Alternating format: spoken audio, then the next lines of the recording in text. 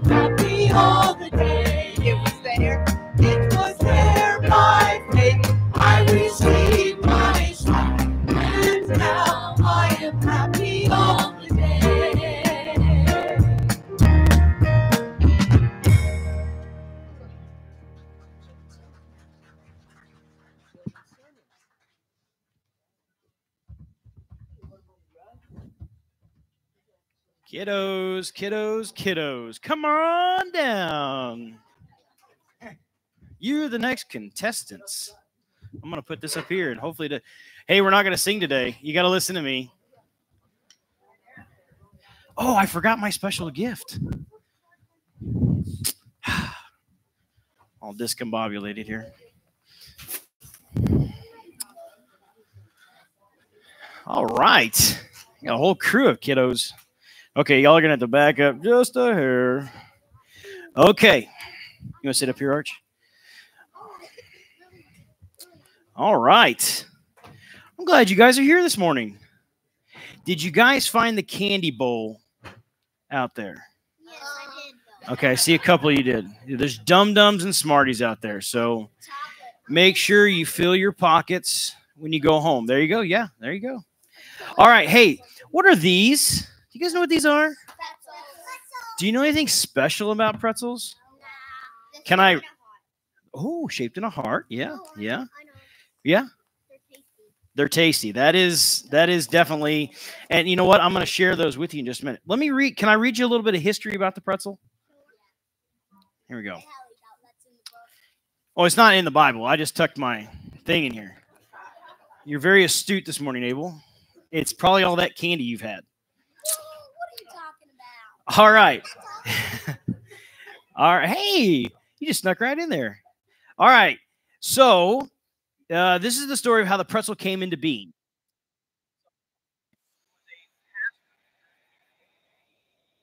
Oh, you guys know where Italy is? Okay. Yeah, long, long, long, long, long way. It's not in New York. No, there are some Italians in New York, probably. All right. He had a problem. The children in his church were slow at learning their prayers. So he rewarded the fast learners by giving them the pretiola, okay, which I'm probably butchering that word. But that word means little gift. The little gift was a biscuit shaped like a pair of hands clasped in prayer. Do you guys think these look like little hands maybe clasped in prayer? Looks like a heart, but like think about it. I mean, you can kind of you guys are gonna have some too. But you could look at it different ways. Looks like two hands little like together in prayer. Use your imagination. Now remember, I'm gonna read to you. We've Americanized it. Well, actually, we've Germanized it and Americanized it all together. Yeah. Yeah. So travelers ended up taking the Pretiola over the Alps. The Germans, thank you for the Germans, they glazed and salted it. Okay. And they it became a popular part of a German diet. Then in 1861, Julius Sturgis opened up the first pretzel bakery here in the United States in uh, uh, Lititz, Pennsylvania. Is that right, Pennsylvanians? No. Uh, where you at, Phil? Is it Lititz? Okay, he doesn't know either. All right. Now, pretzels are very popular here too, as you probably know, as you all said, you know. Uh, so here is what we shouldn't forget uh, why the monk invented them in the first place. He invented them to encourage the kiddos to pray, and to pray to God is a wonderful privilege, and we should always do that, and we should do it often. Uh, think about it for a moment. You can, you and I can actually talk to God and hear, uh, and He can hear us and He can listen to us. Isn't that awesome? That every time we pray, uh, God hears our words. And you know what? Here's something even cooler. Okay. The monks also believed, and this is going to be a little bit more for you guys, more for these guys out here. But these three little mark, these three little holes here, they also say that that represents the Father, the Son, and the Holy Spirit. And you know what? Ask your parents later about the Trinity. and the Holy Spirit the Holy Spirit, here's the thing when we don't have the words, so maybe we're just so upset or we're dealing with something that we just we just don't we don't know how to come to the Lord and, and just share it like we would share something with our mom and dads. The Holy Spirit that dwells within us, if we've given our hearts and lives to Jesus, groans on our behalf. Do you guys know what it means to groan? Give me your best groan, Abel. Uh, yeah. Your best groan? That's a good groan. That's a good groan. And so the Holy Spirit groans on our behalf. So he cries out to the Lord on our behalf, right? Isn't that cool? So here's two things you can learn from the pretzel it reminds us to pray continually, And it reminds us of the Holy Trinity, the Father, the Son, and the Holy Spirit. And the Holy Spirit dwells within us so that when we don't have the words to speak, he groans on our behalf. Here's a passage for you, okay? Brother Paul wrote this in First Thessalonians 5 17. You know what he said? Pray continually. Pray continually, meaning that we should always be in prayer. And that's why that monk created this pretzel in the first place. He wanted his students to, we're going to, I'm going to give you all pretzels and you're going to be able to take them and go sit down. Okay. Yeah. And so he gave us all, he didn't give us all pretzels. These pretzels can remind us that we should always pray and that it reminds us of the Father, the Son, and the Holy Spirit. Isn't that awesome? You didn't know that your little snack that you filled up and watched TV and wrestling and all that stuff with, that uh, it actually reminds us to pray. Okay. Well, can we pray and then I'll divvy up some uh, some snacks for y'all. This is my private stash from the house. So, all right, let's pray. Father, we thank you so much for the many blessings you give us, Lord. I thank you for each and every one of these little kiddos, Father. Lord, I pray that as they grow in you, Father, that they would learn to have a relationship with you, Father, that they would fall more and more in love with you each and every day and understand the power, the power that comes from that relationship and the indwelling of the Holy Spirit inside of us, Father. We love you, Lord. We ask this all in your name. Amen. All right, how about some pretzels? Everybody grab a handful there. Uh, you know, yeah, well, you know, within reason, okay? Yeah. Don't get crazy here. All right. Go back. There you go. You got some. You get pretzels and you get pretzels. Grab you some pretzels. And if you run out, you sneak over to my chair and I'll have, go ahead. You can grab a handful. All right. Art, you want some? All right. Get you some pretzels and go sit down. All right. All right. Watch this video on Annie Armstrong.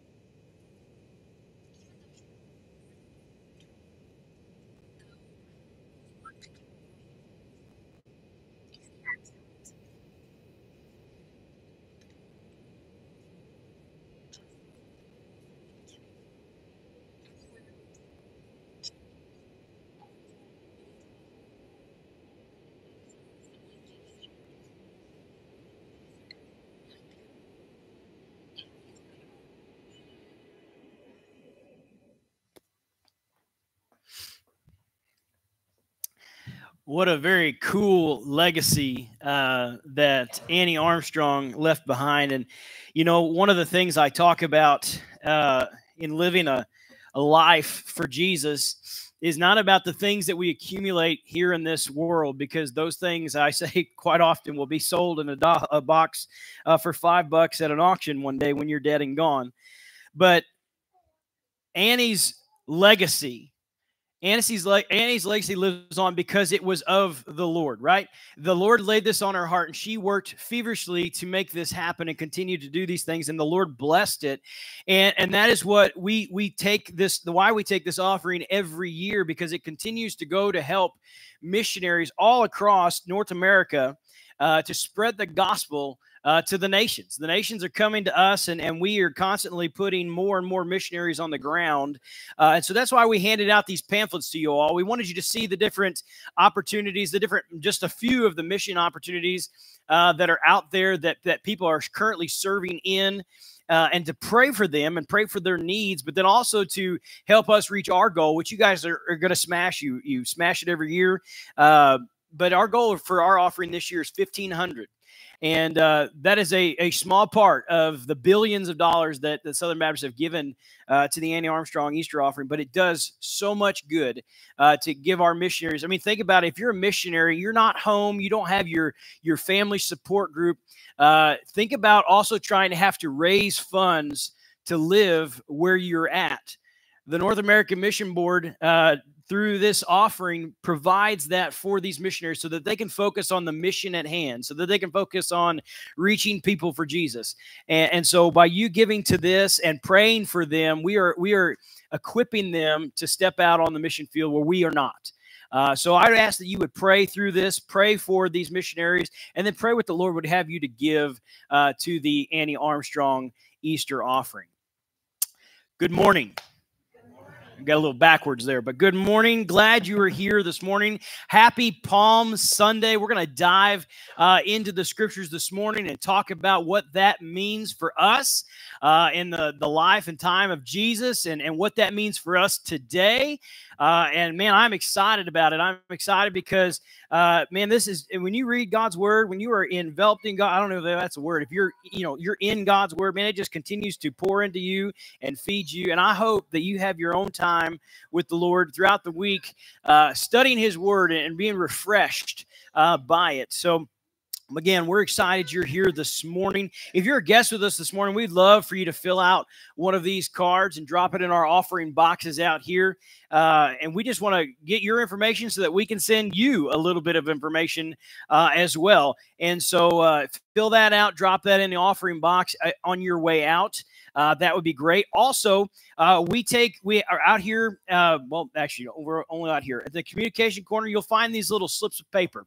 Uh, these are for uh, our prayer time. We we believe that that lifting folks up in prayer is important, but there's a reason why we put these forms out there. We put them out there so that we can have record of them, and also our prayer time can carry on a little bit longer at the end if we don't have our thoughts all written written out beforehand. So if you would be so kind to write out your prayer request, Brother Rich will bring those up to me at the end of service, and we will read those, uh, and you'll have record of them as well. Uh, but we want to be as efficient uh, with God's time as we can and your time as well. And so please fill that out, fill all those things out, and and uh, you know take care of that. Uh, and we'll get that done at the end of service. A lot of things going on uh, this week and, and heading into Easter, and uh, kids are on spring break. And so it's just a lot of good stuff uh, coming your way. And I'll mention more of that at the end of service. But uh, in case I do forget, as you walk out these doors, as you look to the right, there is a portable baptistry. We never use it because we like to dunk people in the river, but it's out there in case somebody wants to be immediately baptized. Uh, there's a bunch of documents on top of it. Okay. All those documents are things that are going on in this church, ministries that you can be a part of, uh, different people that you can hang with, and you know, there's there's uh, veterans by uh, veterans uh, breakfast coming up. There's uh, a lot of different Easter things. There's the ladies' uh, Bible study. There's all kinds of stuff out there. Center shot, our center shot program is going on. A lot of different stuff out there. Out there amongst all that is a little form that says April on the top of it there is all of our announcements. Everything that's coming up in the month of April that you need to know about is on that little piece of paper. They're going to be rolling through our, our, our uh, announcement screens, but sometimes we get to talking and we don't look up there and we miss those things. Okay. But everything you need to know out there on that form. And if it's not, check our Facebook page. Okay. A lot of stuff for y'all to be involved in. Okay, well, let's quit wasting time here. Let's go to Lord in prayer and thank Him for the many blessings He's given us this morning. Father, again, we thank you for the many, many blessings that you bestow upon us. Father, we are not grateful or we, we are not deserving uh, of that. We're probably not as grateful as we should be for it, Father. Uh, Lord, you continually to pour out your blessings upon us and you continually lift us up and you continually set us back on the right path when we drift, Lord. And so, Father, I pray this morning, Lord, that you would forgive us where we fail you. And Lord, that you would help us to see your vision, your will for our lives, Lord, that we would step into it, the Lord, that we would we would walk faithfully by it, Father, that we would uh, we would just continually serve you, not only by our words, Father, but by our actions, Lord, that people would see that there's something different about us, Lord, that we would truly be the salt and the light that you have called us to be in this world, taking your message, the message of the gospel, the good news to all those we come in contact with, Father. Lord, I pray this morning that you would take away all the distractions of the world. Uh, Lord, for this for this time that we have together to worship you, to open your word, Father, I pray that you would take all those distractions away and we would be able to focus wholeheartedly, Father, on your words and on worshiping you, Father. Lord, I pray that you would keep all those things at bay today. Lord, help us to lay those those problems, those struggles, those worries at the foot of the cross and leave them there, Father. We love you. We ask this all in your name. Amen.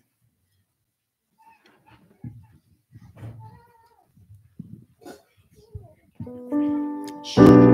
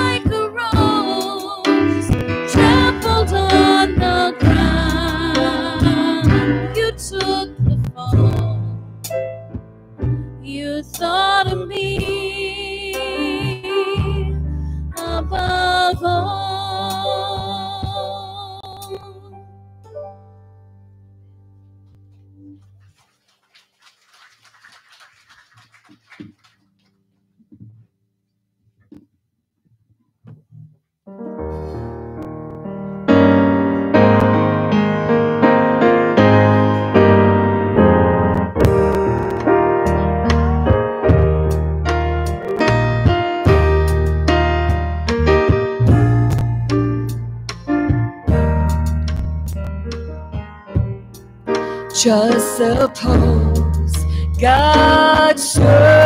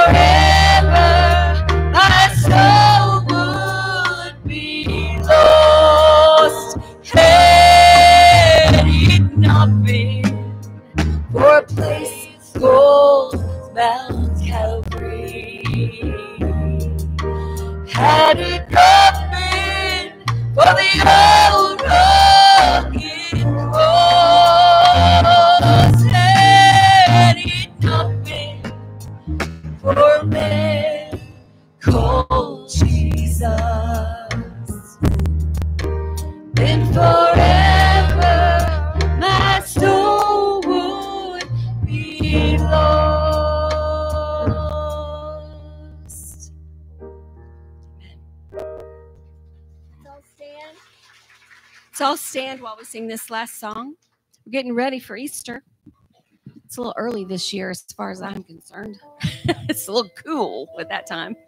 But you know what? No matter what time it is, it's a celebration because Jesus died, but he not only died, he rose again.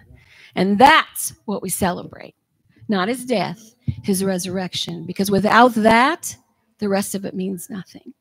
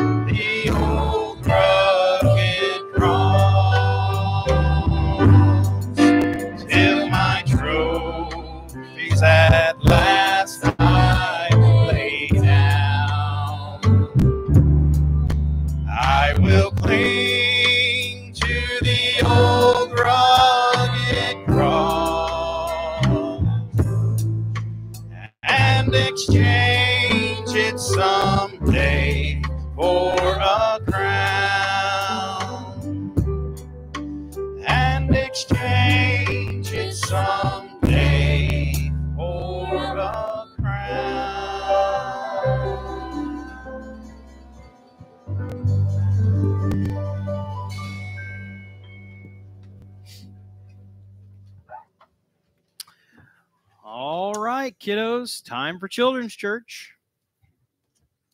You can follow who we following this morning. Following Miss Joni, Jody.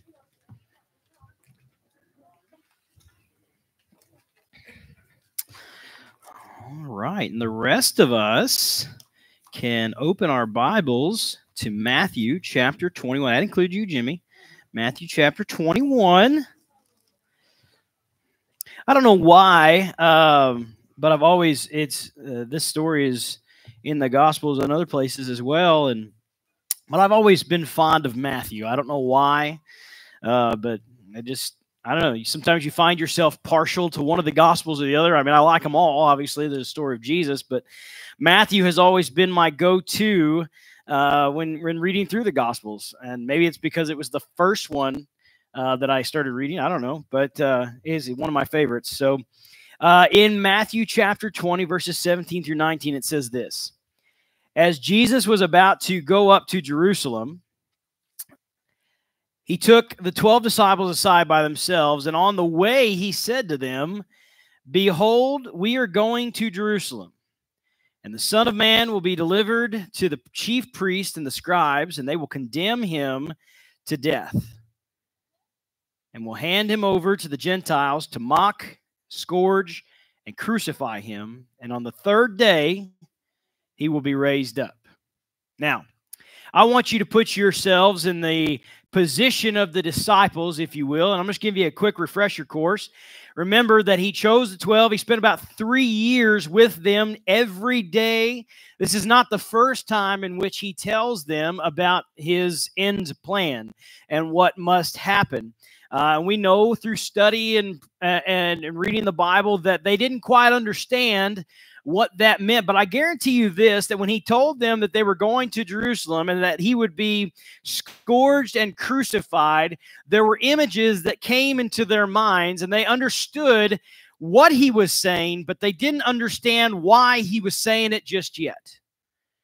They didn't quite understand just yet that he would have to give up his life and die for them so that we could be set free, so that the mission would be complete.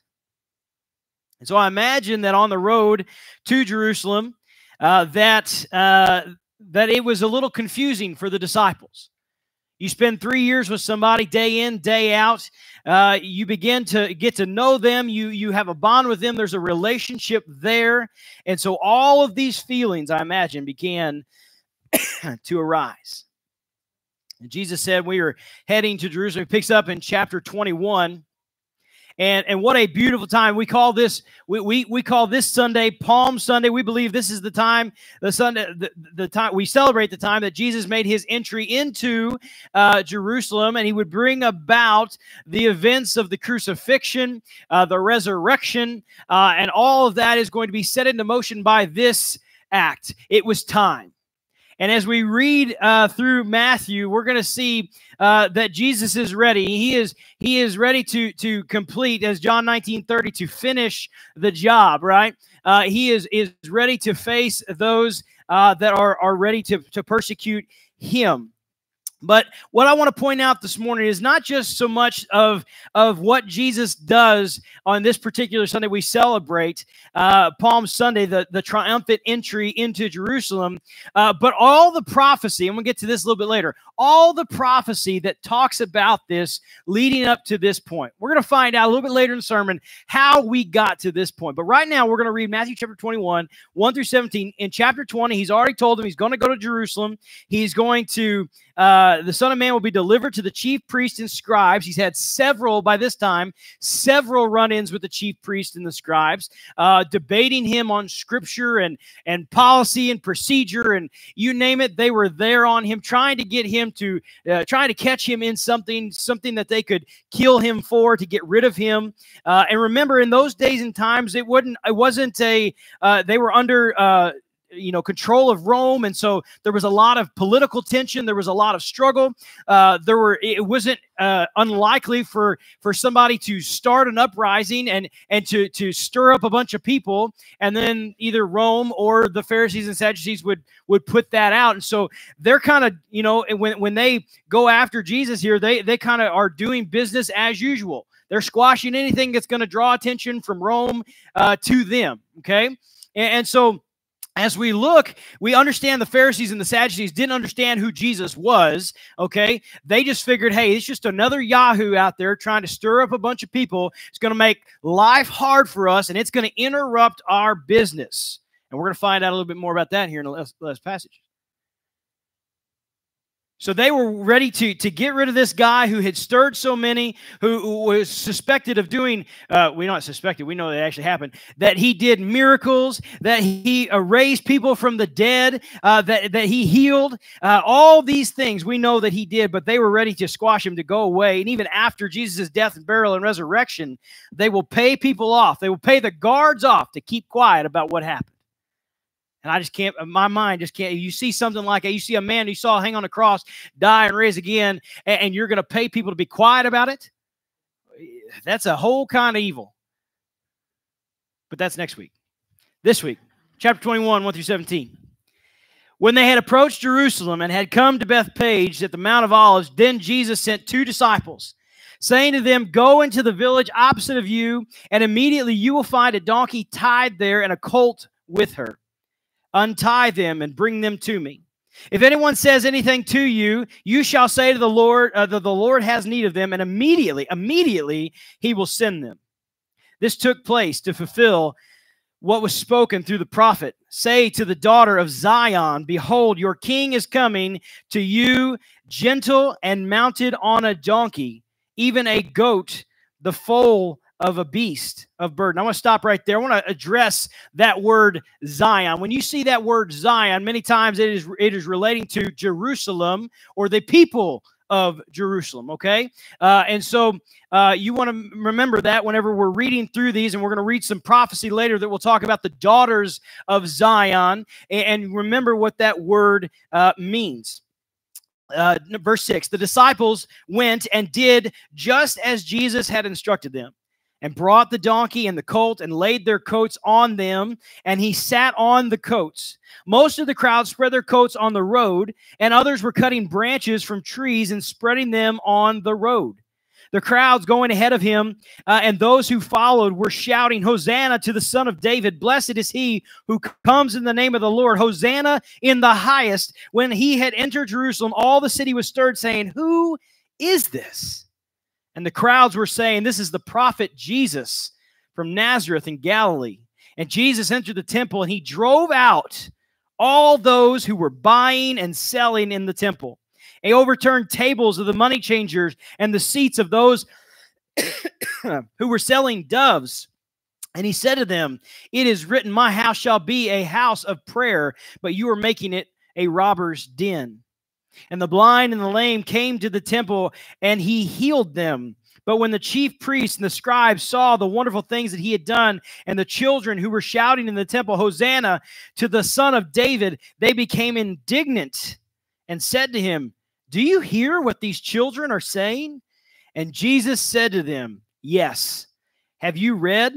Out of the mouth of infants and nursing babies, you have prepared praise for yourself. And he left them and he went out of the city to Bethany and spent the night there. Now, there's a whole lot in this passage that we can unpack and talk about and tackle. First and foremost, uh, you know, we here is the coming King, the Messiah, coming into Jerusalem, and he is, you know, this is a celebration as a king coming back from from war. You know that they would they would sound the alarm and sound the trumpets, and they would make way for him to come into the into the city. But on this king, this king was different. This king didn't come riding in on a war horse. This this guy came riding in on a on a donkey on a foal of a donkey. And so this is not your typical celebration of the king that's coming back from battle and all the, the stuff that he's done. This is a whole different kind of kingdom coming about. This is King Jesus, and he is bringing the kingdom in which we will be a part of. And, he this is the beginning of all of that. And so I want you to understand in how he comes not as a king ready to, to kick Rome out, but a king that is thinking about the long run, the picture, a king that is going to sacrifice himself for the, for, for the pleasure of many.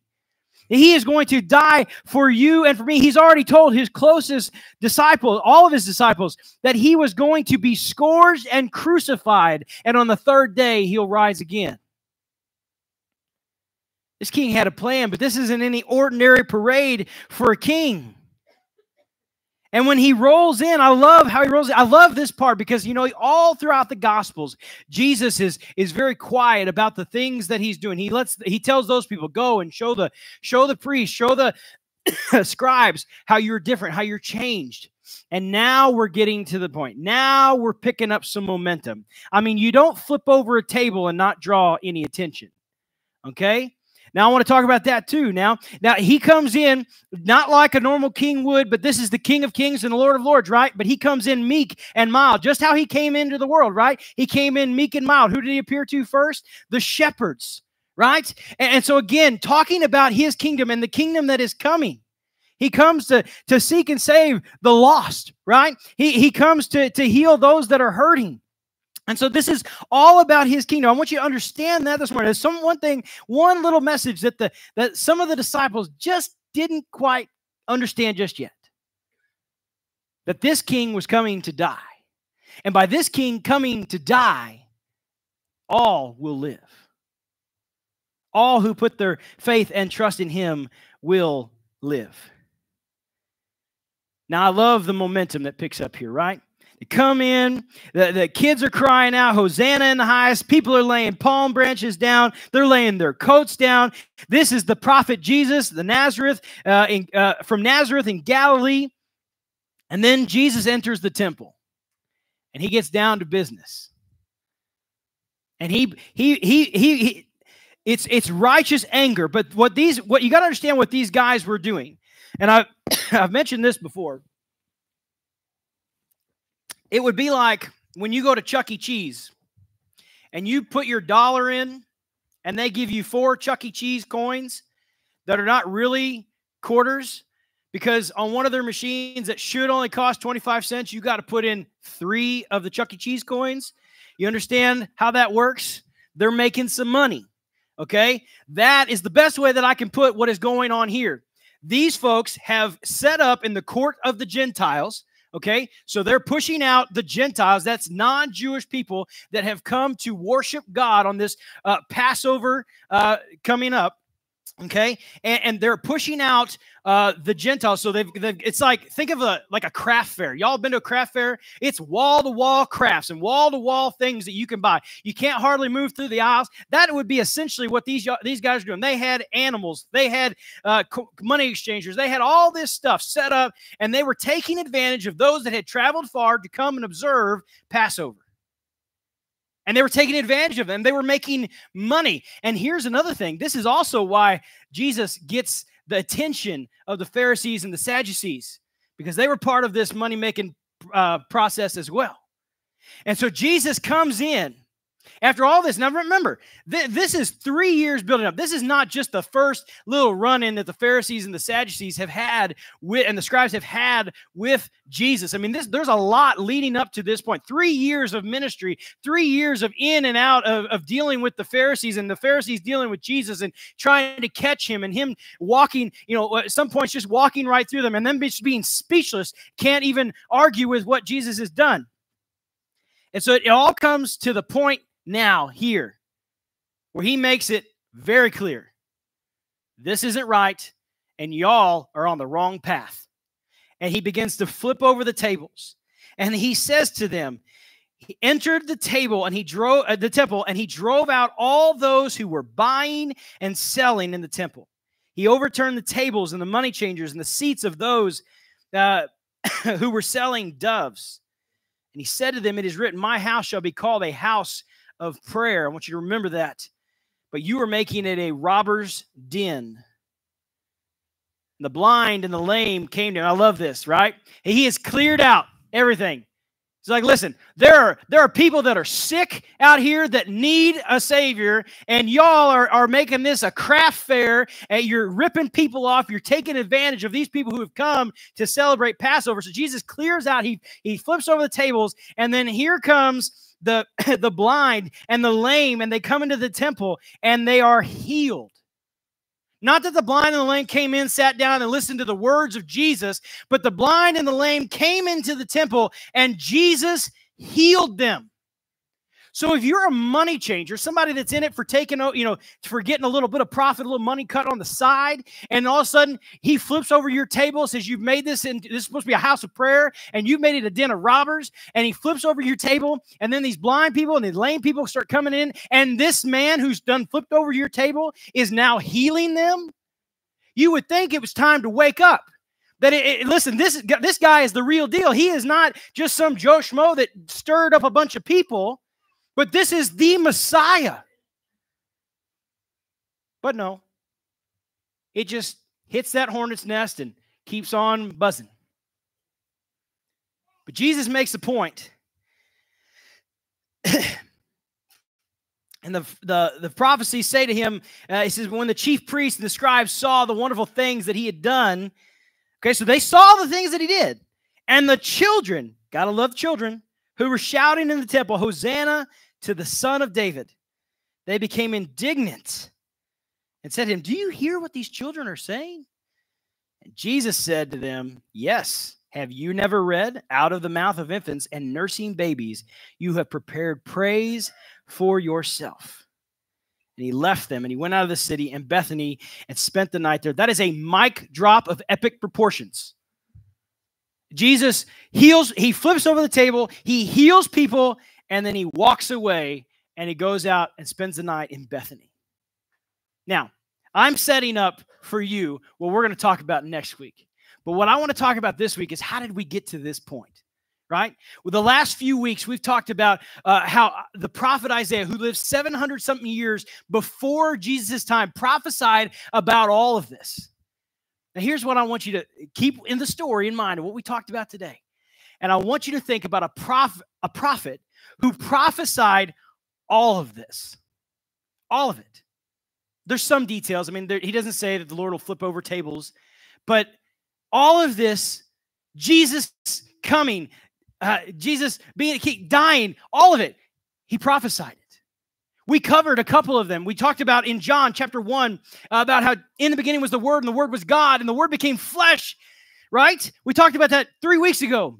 And then we talked about the suffering servant in Isaiah 53 about how Jesus will come and he will die for you and for me. And, and that, that it pleased the Lord to crush him because he is the perfect sacrifice. And then last week we talked about the, the servant Messiah. We talked about John 13 that Jesus uh, girded his loins and he washed the feet of his disciples. Isaiah and Zechariah and all these prophets. We're going to talk about Isaiah and Zechariah today. All of these guys prophesy about this. It's all there. Old Testament to New Testament. It's all there. And you would think that these guys, when Jesus comes in and flips over the tables, they would think, you know what? Isaiah said something about this Messiah. I want you to re- I want you to follow along with me, okay? Let's go all the way back, right? Cue the time travel music. The. We're going back, okay? Isaiah chapter 9, verse 6 through 7. We're going to go quick through these, okay? Because there's a lot of them and we're going to run out of time. For a child, this is, should be familiar to you. We just talked about this not a couple months ago. For a child will be born to us, a son will be given to us, and the government will rest on his shoulders.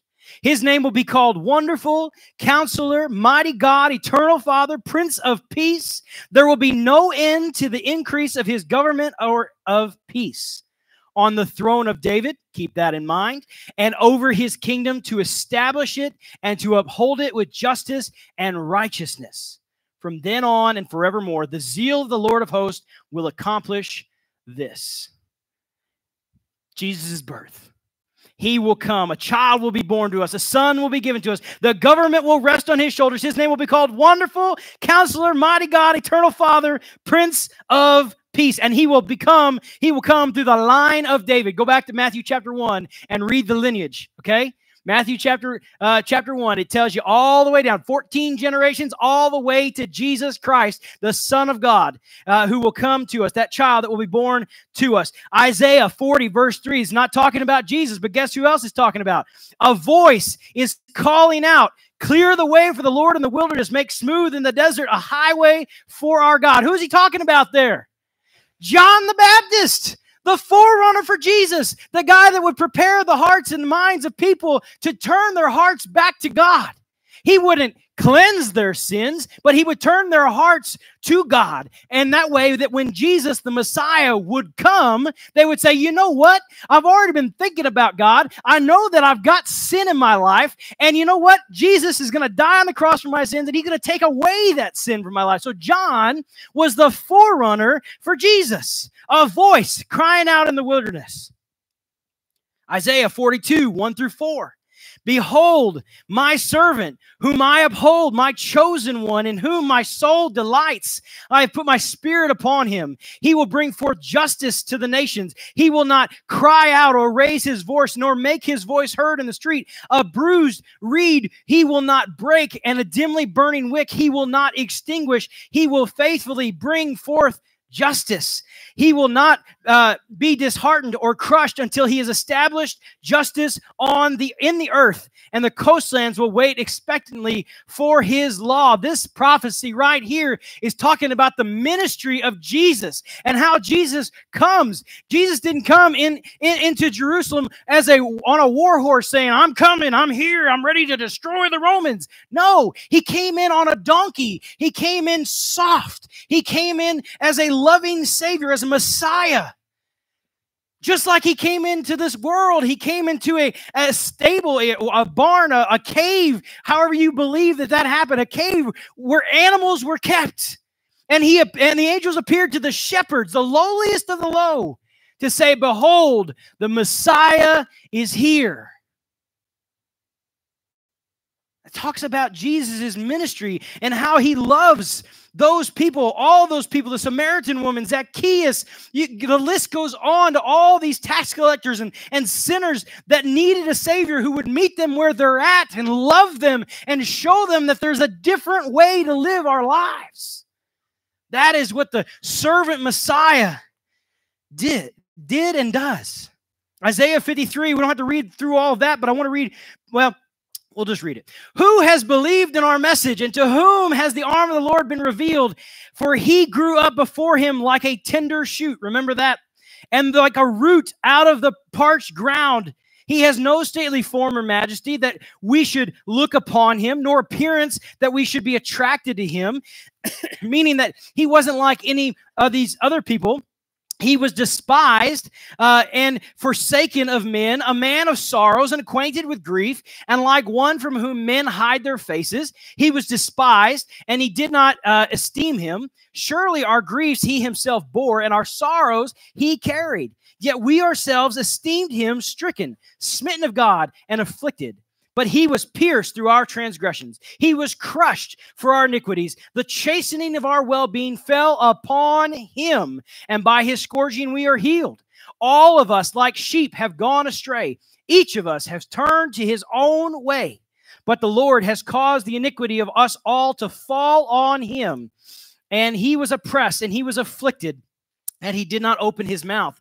Like the lamb who was led to slaughter, like a sheep that was silent before its shears, he did not open his mouth by oppression and judgment. He was taken away, and as uh, for his generation, who considered that he was cut off out of the land of the living for transgression of my people, to whom the stroke was due, his grave was assigned with wicked men. Yet he was with rich man, with a rich man in his death, because he had done no violence nor was there any deceit in his mouth. But the Lord was pleased to crush him, putting him to grief.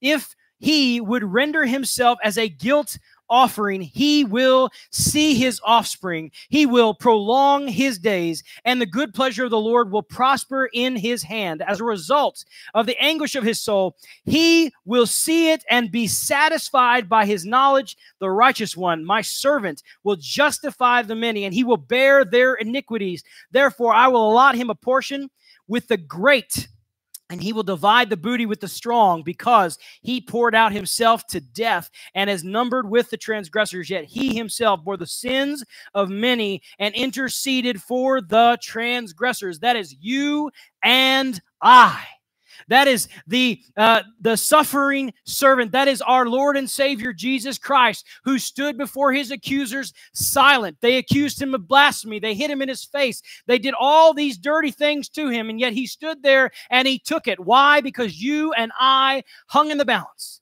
He was the only one that could take upon the wrath of God that, to, to cover all sins, and he was the perfect sacrifice. And God crushed him.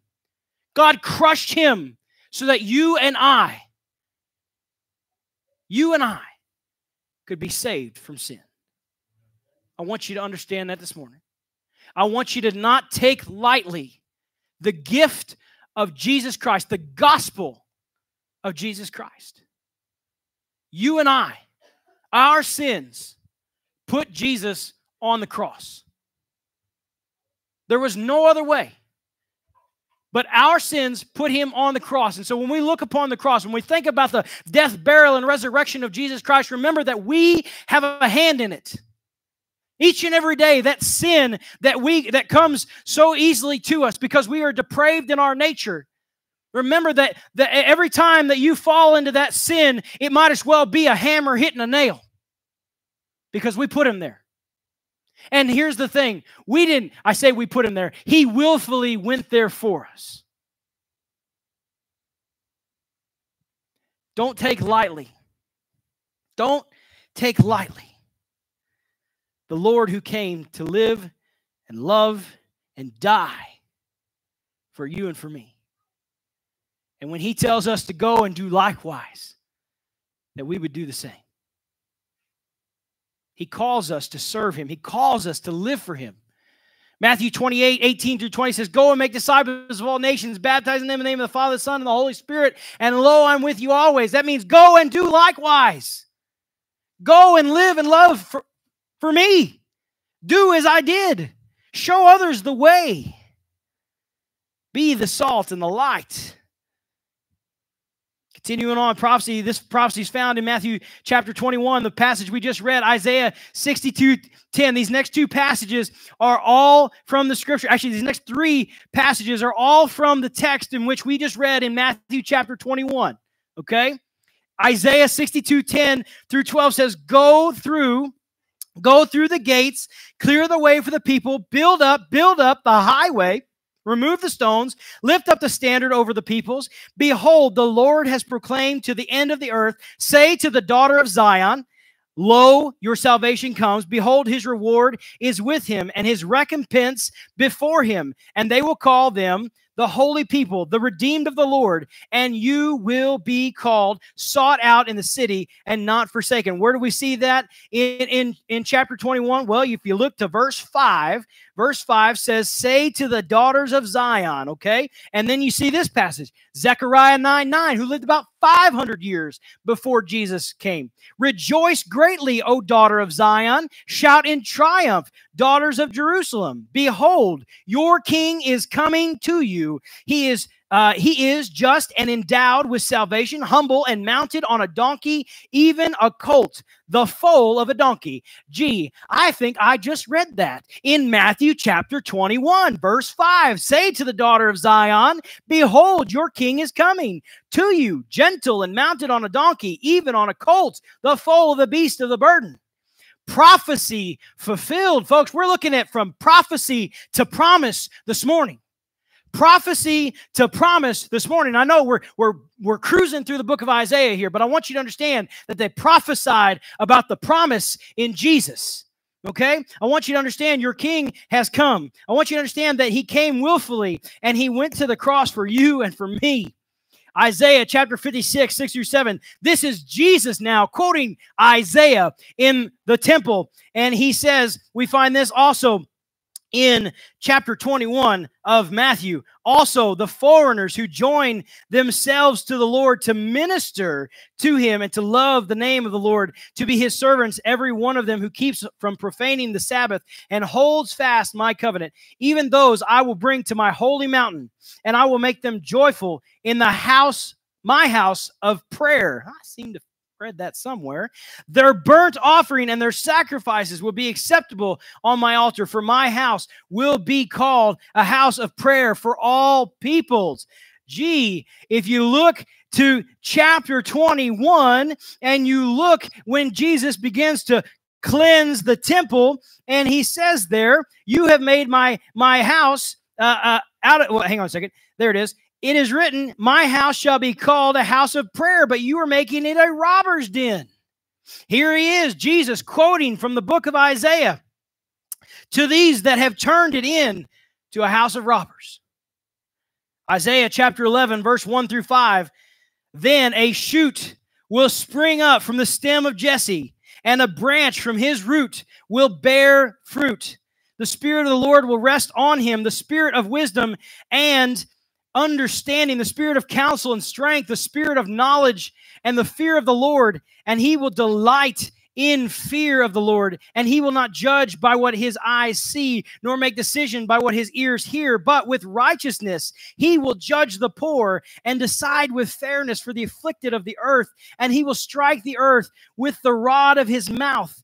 And with the breath of his lips, he will slay the wicked. Also, righteousness will be the belt about his loins, and faithfulness the belt around his waist.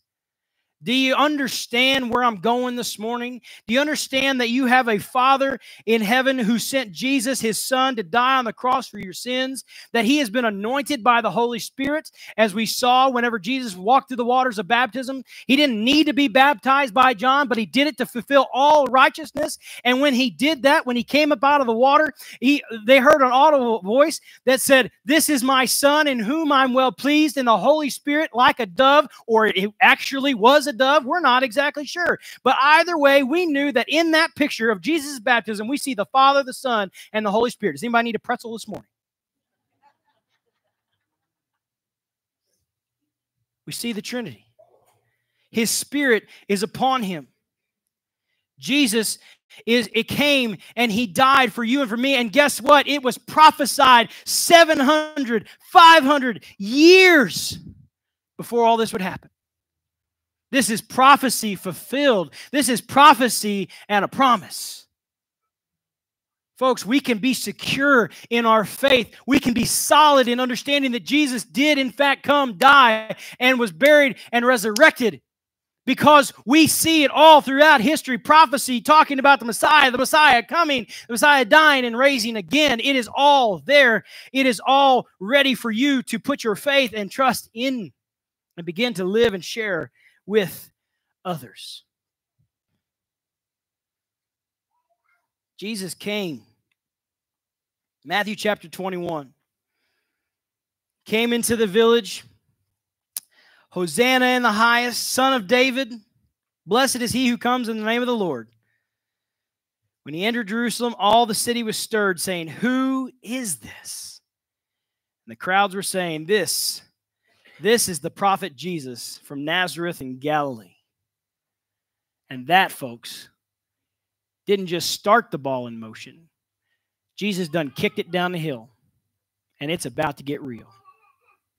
Because for three years, Jesus has done ministry. He has interacted with all kinds of different people. He's healed. He's brought at least, well, he's brought three people back from the dead.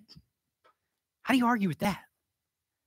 Wasn't breathing, now they're breathing. Okay? How do you argue with any of these miracles? It, he was blind, now he sees. He couldn't walk, now he does walk. Jesus says it in one, in one of the Gospels, he says, which is easier, to tell him that his sins are forgiven or to say, get up and walk? And he tells the man to get up and walk. Of course, it'd be easy to say that his sins are forgiven. But he tells the man to get up and walk, and he gets up and he walks. That is our Messiah. That is who Isaiah is prophesying about. So, folks, as we enter into the Easter season, we prepare our hearts when we realize that Jesus is about to go to the cross and to, to do the very thing that would save our lives as he dies on the cross for your sins and mine. Remember, remember it. Share it with others. And remember that it's been prophesied and it's been fulfilled. I want to leave you with this this morning. And he showed me a river of the water of life, clear as crystal, coming from the throne of God and of the Lamb. In the middle of its streets, on either side of the river, was the tree of life, bearing 12 kinds of fruit, yielding its fruit every month. And the leaves of the tree were for the healing of the nations. There will no longer be any curse. Praise God. And the throne of God and the Lamb will be in it, and his bondservants will serve him. They will see his face, and his name will be on their foreheads. And there will be there will no longer be any night. They will not have need of the light of a lamp, nor the light of the sun, because the Lord God will illumine them. And they will reign forever and ever. And he said to me, These words are faithful and true. And the Lord, the God of spirits of the prophets, sent his angel to show to his bondservants the things which must soon take place. And behold, I am coming quickly. Blessed is he who heeds the words of the prophecy of this book. I, John, am the one who heard and saw these things. And when I heard and saw, I fell down and worshiped at the feet of the angel who showed me these things. But he said to me, Do not do that. I am a fellow servant of yours and of your brethren the prophets, and those who heed the words of this book. And the last thing he says, worship God. Worship God. That's Revelations chapter 22. Revelation chapter 22. I'll read the second half next week. But understand that we go from prophecy to promise. And that promise is fulfilled. It will be fulfilled. And so we have to live each and every day understanding that our Lord and Savior did, in fact, come and he did, in fact, die. And he is, in fact, coming quickly. And so we must serve him each and every day. My prayer is that you would put your faith and your trust in him. I can't give you hardly any more details about his coming and his dying and his coming back. It's all right there. But put your faith and trust in him this morning. Know that he is, in fact, the Messiah, and he did, in fact, die for your sins and mine. And he is the only way. He's the only way to heaven. Let's pray. Father, we thank you for the many blessings you give us, Lord. We thank you for the roadmap in which you have given us in the book of Isaiah and all throughout the prophets, Father, as they point to your Son, your plan in Jesus. Father, I pray that as we go about our days, as we serve you each and every day, Father, may we remember, uh, Lord, that this wasn't just something you cooked up in a few minutes, Father, but you had it planned for a long time. Lord, you have a plan for our lives. You had a plan for our Messiah. Lord, you, you had a plan to work it all out to bring us back to you. So, Father, help us to humble ourselves. Help us to humble ourselves and look to you, Father, to trust in you, to know that your Son Jesus is, in fact, Savior and King. Help us to put our faith and trust in Him. And Lord, that each and every day we would walk and talk and and and reminisce with you, Father. That we would share with all those we come in contact with the wonderful, awesome, incredibly solid gospel message. Help us to stand firm on the words which we've read today, Father. We love you. We ask this all in your name. Amen. Let's stand and sing this morning. Remember the words that I shared earlier Matthew chapter 28, 18 through 20. We're called to be uh, disciples of all nations. Call, go and be disciples of all, make disciples of all nations, baptize them in the name of the Father, the Son, and the Holy Spirit. And lo, I'm with you always. It starts with Romans 10 9. Put your faith and trust in Jesus Christ. That means to, in Romans 10 9 says, believe in your heart and confess with your lips that Jesus is Lord and you will be saved. And when you believe with all your heart, with all your mind, with all your strength in the Lord Jesus Christ, then your mission becomes to how do I tell others about him? How can I live for him today? How can I change my life? How can he change my life to accomplish good for him? Let's go to the Lord and sing. All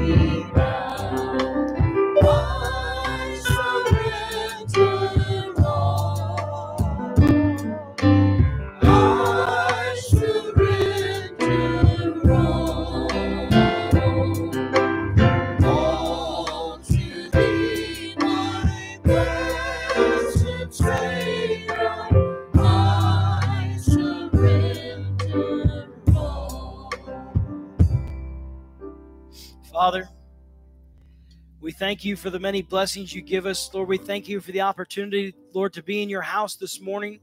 The opportunity, Lord, to read your word, to be inspired by it, Father, to, to be strengthened by it, Father. Lord, I pray that your words would, would continue to wash over our hearts and our minds today, Lord, as we go out and we, we fellowship with others, Lord. May we not forget what we are called to do while we're here on this earth. May we tell others, not by just only our words, Father, but by our actions, who we serve.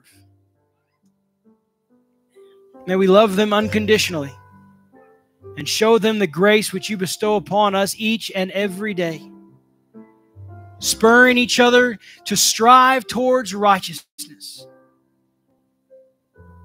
Not to sin no more, but to sin less and less. Father, prayer is that you would continue to grow us. You would continue to mature us, Father. Help us to live and love for you each and every day. We ask this all in your name. Amen. You may be seated. Let me rephrase what I said there in that prayer. I heard uh, a, a pastor say one time that striving towards righteousness is that we don't, I misquoted it, uh, not that we are sinless, but that we sin less and less. So the idea is that as we strive towards Jesus, the more he carves out of our lives that we no longer need anymore. And so we sin less and less. This is our time that we enter into prayer. Do we have, was there any out there? Laid one there for me. Okay. All right. We got one here this morning. Listen, uh, Debbie has asked for prayer for Leah Scharfenberg. Yes. Uh, Mel- Melissa's sister in law. Prayers continually for healing after her stroke. Uh, prayers are working. She talked to us on Friday. Well, that's great. Any other updates? We're doing.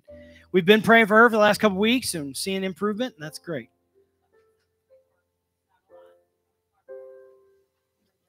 Yeah, praise God. Praise God. Baby steps, and we'll continue to take that. Awesome, awesome, awesome. Any that didn't get wrote down this morning? As I said, we, we like to have those written down so that we can kind of cruise through this, but we'll, we'll, we'll get there. Yes.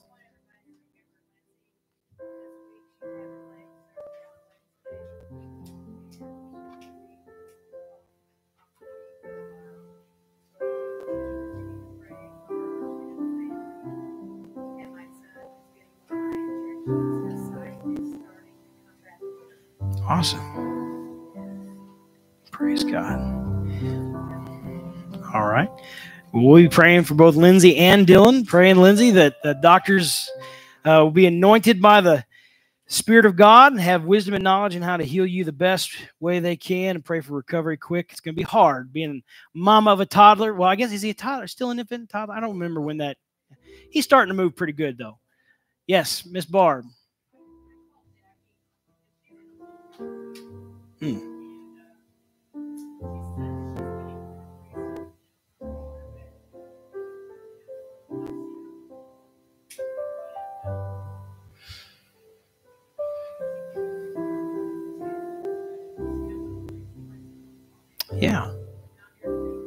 Yeah. We'll be praying for Miss Jackie. You know, give her a phone call. It, that goes with anybody that that's been missing for a, a while, or even a one Sunday, or just checking in and making sure that they know we're thinking about them and praying for them, and if there's any way that we can help in any way. And so we should uh, definitely be checking in on Miss Jackie, making sure uh, that she's taken care of.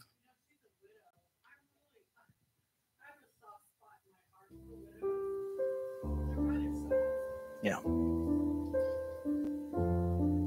Yeah.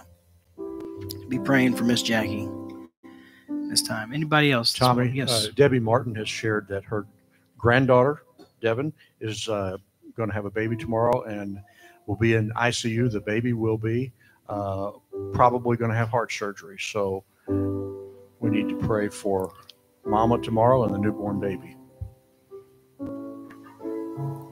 We'll do that. That was praying for God's wisdom and all of that. Praying for family. That's never an easy thing. But those NICU nurses and those baby nurses, boy, I tell you, they're something kind of a special breed. They're good folks. Miss Bonnie, yes.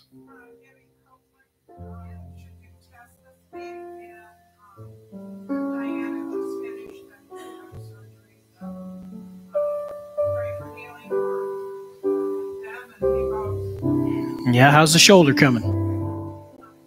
Not good. Okay, we'll be praying. Yes. Sandy?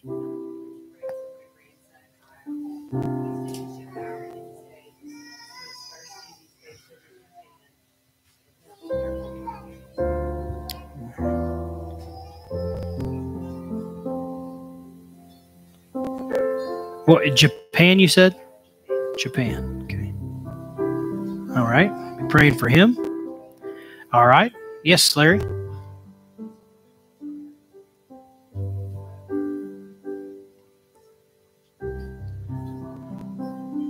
Whitney. Okay. All right. Bill.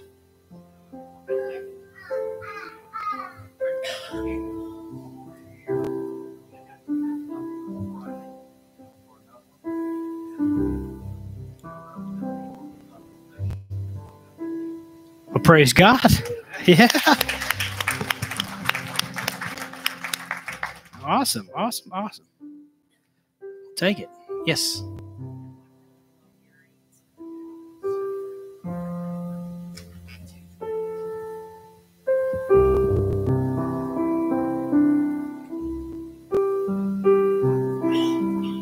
Okay.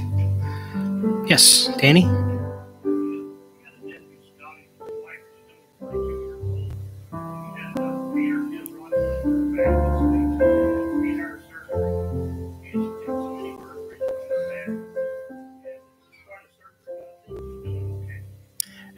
So who is this again?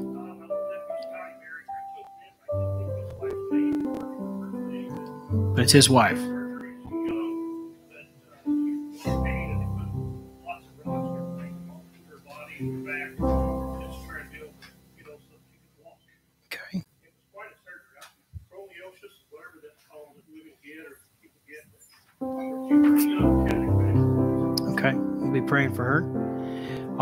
Yes, Miss Mary. Good to see you again this morning.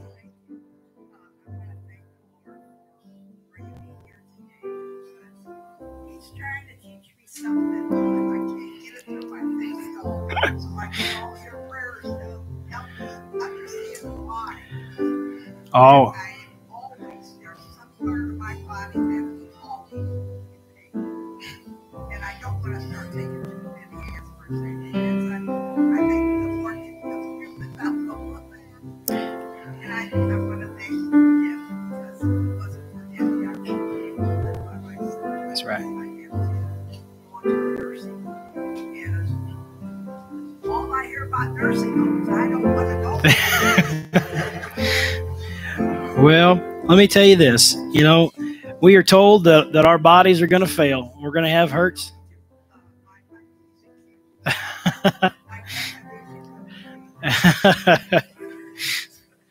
but the Lord, it, it is promised to us that our bodies will will fail. Uh, but each and every day that the Lord gives us breath is a blessing, and uh, we can live our full. Even if we've got pain, we can give God the praise and the glory for giving us one more day. That's right. Amen. Amen. Well, thank you for that.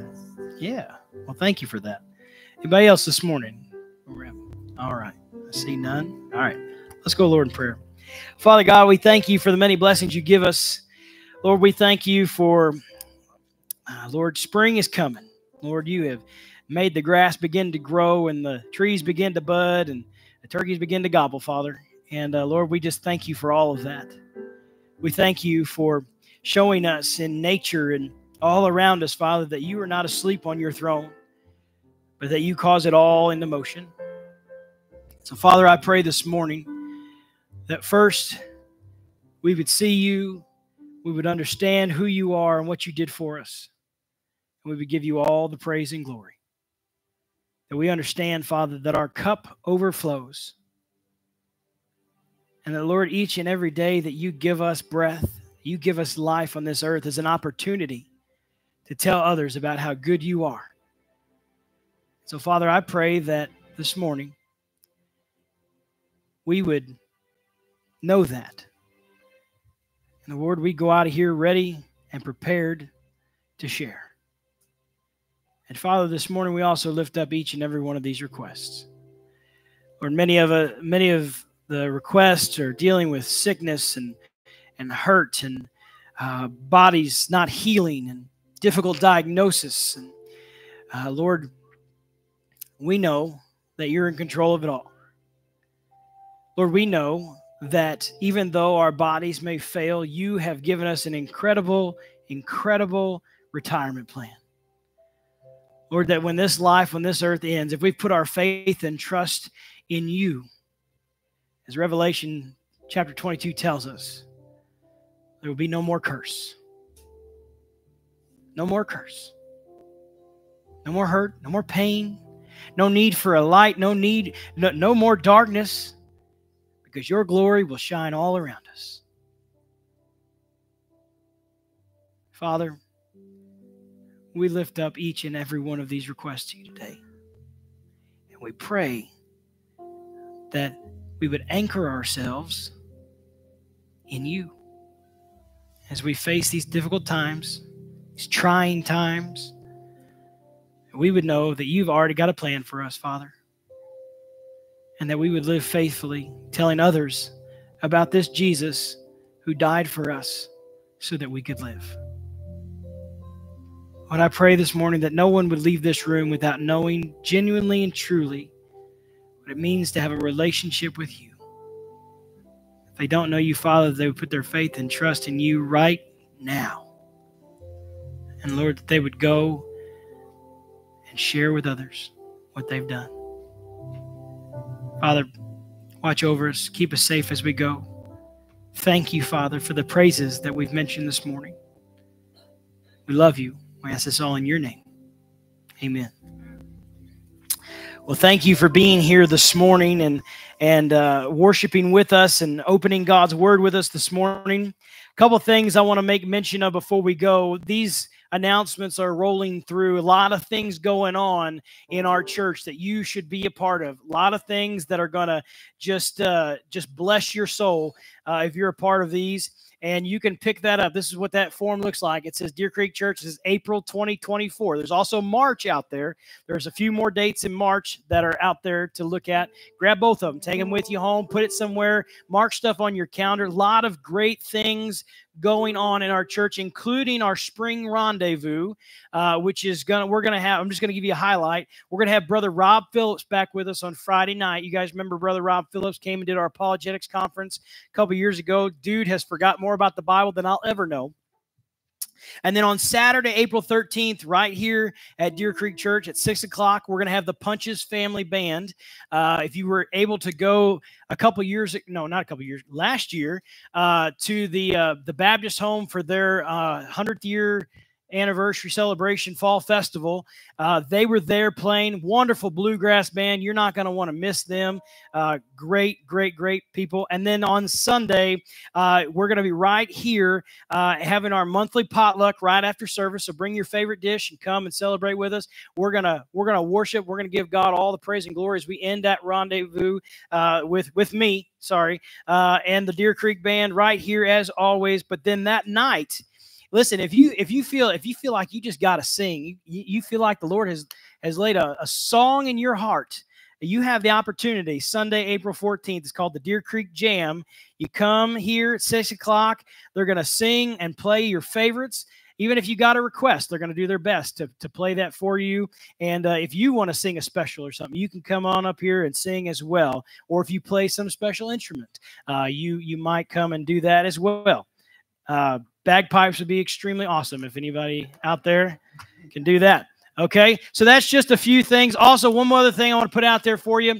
Uh, we are going to be taking a mission trip to Rochester and Austin, Minnesota this summer, July 28th to August 2nd. We had a mission trip meeting on uh, Wednesday about that. This is just an informational sheet about that. Uh, if you're interested in going, we still have open spots for you to go. All the information is on this piece of paper. Grab one of those out there as you go. And there's also a sign up sheet. Need you to sign up, put all your information there so I can give you updates as we head closer and closer to time uh, to doing that. We're going to be working with the, the Spanish mission up there in uh, Rochester and in Austin, there's a Spanish speaking church. We're working with them as well, doing different uh, either Bible studies, kids camps. We might be doing some yard work. We're not sure uh, just yet, but we are uh, we're excited about what the Lord's going to do on that trip. So be praying for that, even if you can't go. But man, really search your hearts and souls and see if the Lord is where the Lord is leading you. Like I said, there's a ton of stuff going on in this church, and you need to be a part of it. Uh, and so check it out and get get signed up for whatever uh, floats your boat out there. The Lord will lead you to. All right. Yes, sir. You got one thing. Saturday, the thirteenth of April. We're Veterans Breakfast at Country Bob, eight o'clock. I got a sign up sheet here, you know, our last breakfast was really great. We had 13 13 people show up for our breakfast this, last month. So anyway, bring your money and bring your body and we're. gonna do veterans- Wait, wait, wait, wait, wait, wait. You're not paying for the whole thing? Well, uh, the word got out that Ron Baker is bringing his, his checkbook. Oh, oh, okay. Well, howdy. But I just hey. wanted to mention I was waiting for it to go through, but we're at eight hundred dollars on Annie Armstrong. oh, praise so we're God. more than halfway through. Next Sunday's Easter. So Yeah. Yeah, eight hundred dollars towards our Annie Armstrong goal of fifteen hundred. So thank you for giving towards that. Yes. I'd like to say that uh, Dawn Yeoman and um, Paige Stein- Steiner have volunteered to do the um, Samaritan Purse. Awesome. Well, praise God. So people, you gotta start bringing your items, you know, there's, uh, I, it's, pro- it's my fault. I need to make a list of items that are needed, so people have something to go by. So I'll try to have those by next week. All right. So, but, uh, we have the volunteers. Awesome. Praise God. Love to hear that. Love to hear that. All right. Yes, ma'am. Yes. Oh, I should probably mention that, shouldn't I? Go ahead. uh, I've got some money to pay to get some meat, but we'll need some more meat than what I got. Okay. And I've got somebody bringing a, a casserole for breakfast, so we could use some more there. And scrambled eggs and a big, So breakfast sides. yes. Okay. uh, All right. So just milk, juice. yeah, next Sunday is Easter, and uh, our our services. Oh, where? I thought they were on here. it's on Oh, it's back. It's in March. I've got the wrong one. okay, 8 a.m. 's early service, 9 o'clock breakfast, 10:30 a.m. regular service, uh, and then uh, just see all the see Mert about if you want to bring a breakfast item, should be out floating about. Uh, it's gonna be a great time. Either come to the early, come to the the later regular service, but come and have breakfast with us, will you? Either stay and have breakfast with us, but just come have a fellowship meal. Good time as we celebrate the the burial uh, the death, burial, and resurrection of our Lord and Savior, giving us hope uh, to continue on throughout this season uh, of our lives. Okay. Uh, is that all the announcements? Yes, sir. Don't, yes, next Saturday and Sunday. Don't forget about the Lester's uh, uh, pageant out there at the caves. You're not going to want to. I hear it's pretty awesome. So Saturday at six o'clock, doors open at five thirty, and then Sunday six thirty a.m. or six free admission on Sunday. Okay. Both, both. So, but I bet it's going to be packed. So you better get you there quick. Okay. A pretty awesome deal. So make sure a lot of stuff to be a part of. What? Yeah, he's a thief. We we talked about that last week. So, yeah, we're hoping we're praying for you, Jimmy. One day maybe you'll be Jesus. All right, all right. Uh, birthdays and anniversaries, right behind you. How old are you? Oh, What was it like to know Moses? 66. We're, we're glad you're here, Jimmy. Oh, yes, my wife. My wife's birthday is tomorrow. And what? No, no, no. I married a young woman. She take care of me when I'm older. At least that's what I was told. I doubt it. She'd probably kill me. Anybody else? None? All right, take it away, Ben. Happy birthday to you. Happy birthday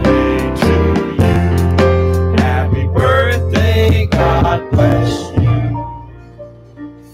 Happy birthday to you.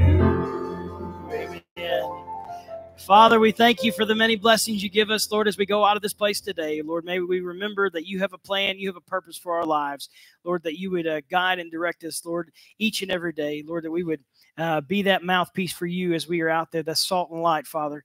Uh, not just by our words, but by our actions, Father. Help us to live in love for you. We love you. We ask this all in your name. Amen. Would you be free from your burden of sin? There's power in